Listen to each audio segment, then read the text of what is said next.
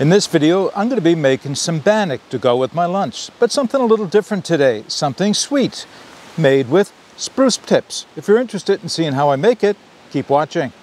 All right, before I start making my bannock with spruce tips, I just want to take a second to talk about the spruce tips themselves. So these are the tips from the black spruce, one of our more uh, prevalent spruce here in Nova Scotia. We have three. We have the black spruce, the red spruce, and the white spruce. Now, I have a full video on the spruce, specifically the black spruce, that I made last year this time, that I will link at the end of the video rather than talk about all the nutritional and medicinal properties that spruce has. But suffice it to say, it has a wonderful flavor and it has got a lot of medicinal qualities that make it worth looking at but they're only around for a short period of time before they get too big to really use, at least the way I'm going to use them. All right, so I'll take you down to the ground to, uh, next to the fire pit here, and we'll get started. All right, so there's no really any special magic in, in terms of making a bannock with spruce tips. It starts with a bannock, bannock mix and you add spruce tips. It's just that easy. I'm just going to make it a little different today. So I do have a small quantity, maybe two tablespoons, maybe a little bit more of the spruce tips collected up in my little bowl here. And I'm, what I'm going to do that's just a little different is uh, I have often just added them right into the bannock. And it works, and it makes a nice tasting bannock, but it's a very, very mild flavor, and there's not a very strong flavor to it. Nice texture, nice flavor, yes, but not all that strong. So I'm going to do something a little different today that I don't usually do. I have done it before. It does work, but it's a completely optional step. So what is that? I am going to, as soon as I can find my olive oil, put my olive oil that I'll be using in this anyway in right on top of the spruce tips and my sweetener. Now, I'm using a monk fruit sweetener, and monk fruit is a no-calorie sweetener that is very, very close to sugar. And I'm going to put in about uh, a tablespoon, I guess, right directly in on top of them. And I took a stick and I made, you know, like a mortar and pestle. So this would be the pestle, I guess. And I'm just going to crush them up a little bit to Release some of the flavors from the spruce tips into the oil and the sweetener. And yes, you can do this with butter or margarine or shortening. Or my two favorites that I most often use are ghee and uh, coconut oil. They'll all work. And sugar, and I said, think I said you can use a regular bannock mix. Of course, I'm using the ketogenic bannock mix today, but uh, you can see I'm just kind of crushing them some to release some of the flavors. I think that's pretty good. Get all the goodness off the end of my stick here. Good. And from there, mm, oh, I can taste the uh, spruce right in. So spruce has a nice citrusy flavor. It's the best way. It's a little tart, a little tangy. Certainly not objectionable. I eat them all the time going across the trail.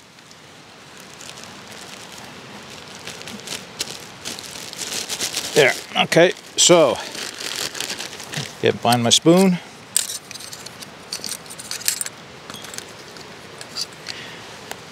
And all I'm doing here is just mixing in that oil in through, well, oil and sweetener and spruce tips in through the bannock mix. And again, this is my ketogenic bannock mix made primarily with almond flour, although it does have salt and uh, baking powder, of course. And I think I usually put in a little bit of psyllium husk. It helps to hold it together, especially when I'm not using an egg. Normally I would use an egg for this type of thing, but not today. All right, I've got the oil as mixed through as I can possibly get it.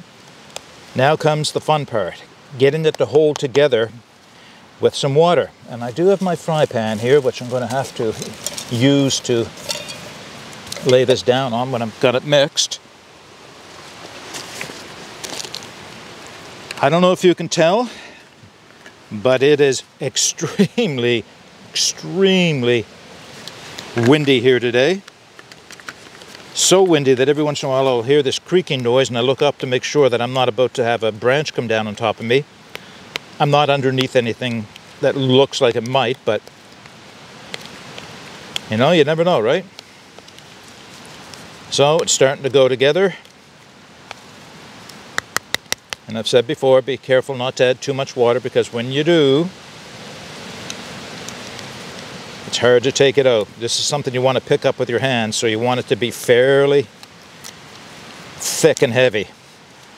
And I think we're as close as we're going to get. And as I mentioned before, if you leave it set for a minute before you try to pick it up with your hands, it usually gets a little drier as the almond flour, in this case, soaks up some of the moisture.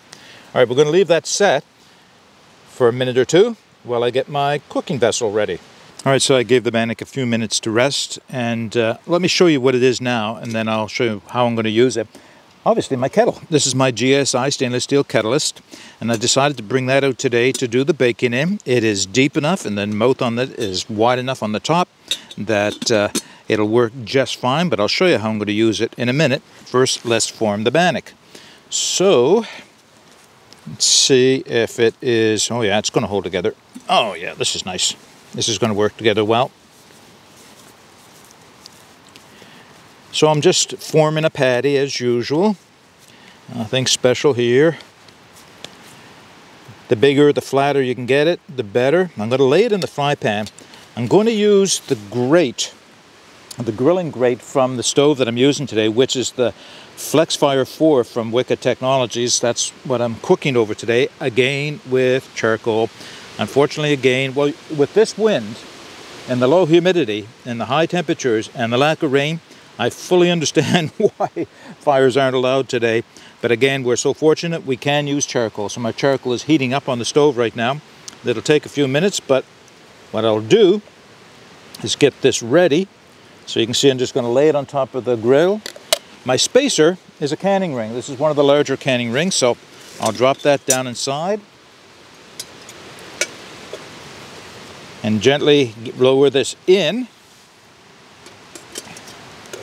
A little tricky. It's not quite wide enough for me to get all my hand inside, but I can do it if I work at it a little bit. There, sits down inside.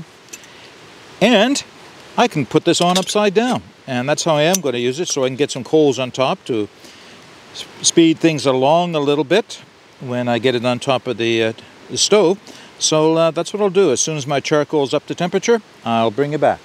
Okay, so I have featured the FlexFire 4 from Wicked Technologies before, and I do have a full comprehensive view uh, video of it coming up shortly. It's all prepared to go. I just going to wait for uh, a good time to release it, but uh, it looks as if I haven't used it before. And the reason I, it looks like that is because the plate that's facing the camera now is one of the Omega plates that I have not used before, and this one is intended especially for use with charcoal. So when that plate is in place, there are no feed ports. It's just a straight wall chimney, chimney, nowhere for heat to be lost. I mean, it is warm, but I'm not losing heat out of a feed port like you might from the charcoal. So uh, that's why it looks like that. I am going to be placing the catalyst directly on top, but what I want to do first is recover a few of the hot coals to put on top of the catalyst. So, I think that one's going to go back in, but oh, there's a good one to put on top. Now maybe I'll put this one on top.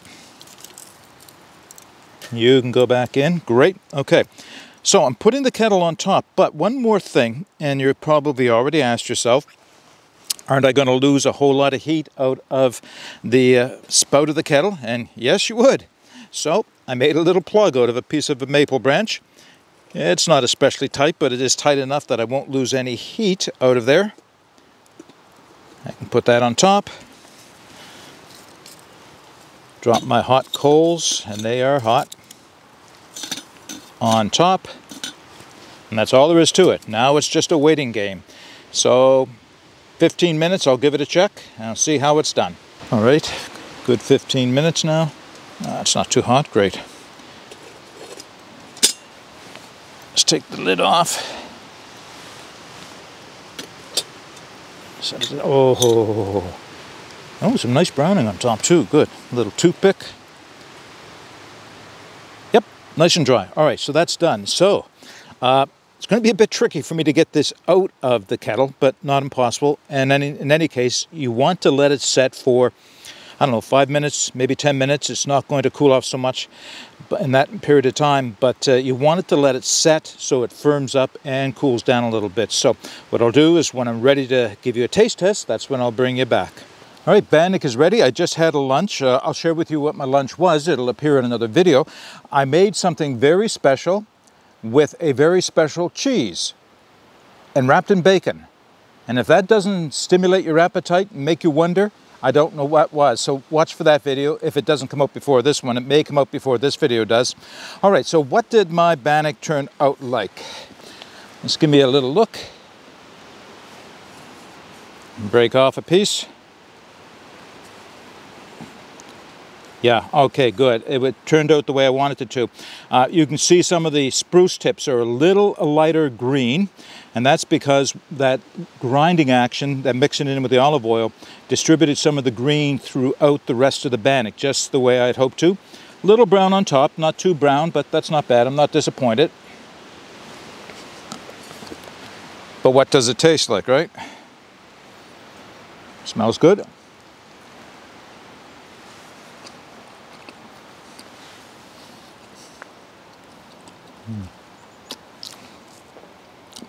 Okay, a uh, little chewy, that's fine. That's also the way I wanted it to because I did add the sweetener to it. This was meant to be a dessert bannock, not so much a meal bannock like a bread. So it's similar to a cookie or a cake you might have after, after a meal. Just that sweetness added on the end. And of course, as I said, I made mine with a, a natural calorie-free, carb-free sweetener known as monk fruit. Monk fruit monk fruit and erythritol, which is an alcohol sugar. I'll put that in the information below if you're interested. It is uh, all natural, it doesn't have any chemicals or anything in it, and it's zero carbs, but it adds a lot of sweetness. And the Bannock recipe, of course, is my almond flour mix, which is very low carb again. But as I said, you can use any Bannock recipe. You can use sugar if that's your thing uh, to make this, and it works out just as well. Mmm. That's good. Oh, I got the flavor that time really strongly. Not overly strong, just a nice added flavor to the bannock. And just in case anybody was wondering, yes, I am having a cup of coffee with my bannock.